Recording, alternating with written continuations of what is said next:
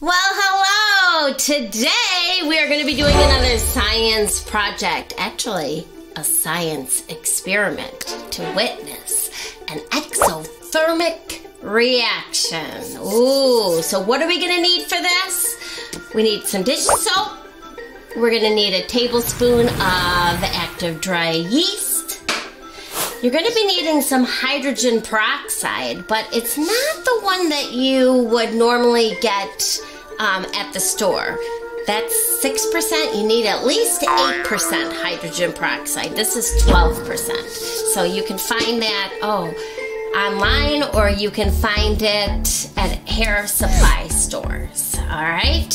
And food coloring, which is optional and a tablespoon. We're going to be using a tablespoon of yeast. So, since this is science, I'm going to be needing my goggles because we're going to see quite a reaction here. Oh, and I forgot the one more thing. Unless you're doing this outside, it's best to have it in a big container so you can catch it. Catch what's going to happen. Oh, and I forgot the one other thing we need a bottle. This is a one liter bottle. You can use a two liter bottle. And I also forgot to mention a funnel. All right. So, what do we need to start this? A couple squirts of our dish soap. I hope that's enough. Okay. Then we're gonna need the hydrogen peroxide. So we need a half a cup of that. Here I go.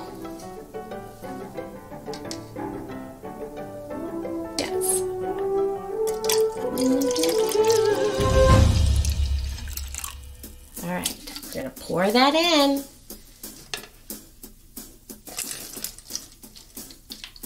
And once you pour it in, you mix it up. Whoops, some of it fell out. Okay. Ah, then you need your. Where is my water? Oh, warm water. I forgot to mention this. Another half a cup of warm water. And you're going to add the yeast the warm water. So let me slide this sideways so you can see what I'm doing. As I said, we need a tablespoon of that. Dun, dun, dun. So I'm just gonna put it in there. All right, so this yeast is gonna be the catalyst. A catalyst is something that speeds up a reaction. All right, mix that well. So we are gonna be speeding up the release of oxygen from the hydrogen peroxide. All right. Now before we add that into our bottle, you can add the food coloring. And the project we're making today is often called elephant toothpaste. That sounds funny.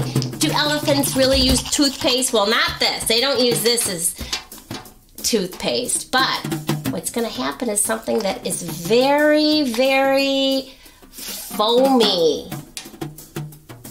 Kind of like toothpaste, but you're just not going to believe how much is going to come out of here. So we're going to put a little on that side and a little on this side. It comes out so thick and so big that it almost looks like toothpaste that something big could use, like elephants or whales or something big, a big animal.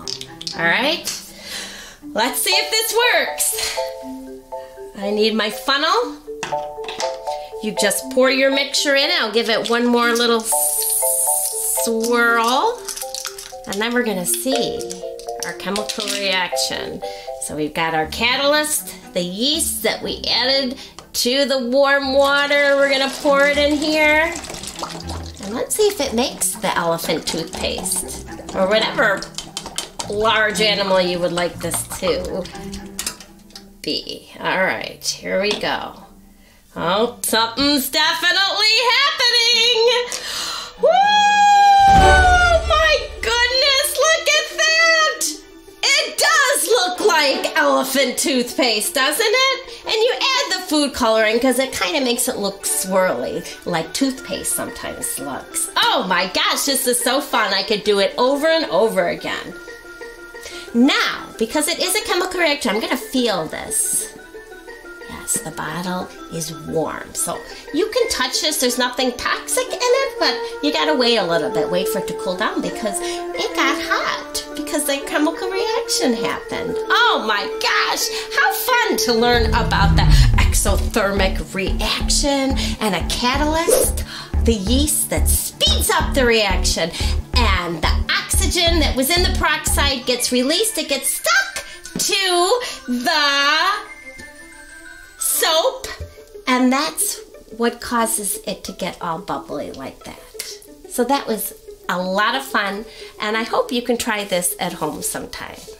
I had a great fun. I'll see you next time. Bye.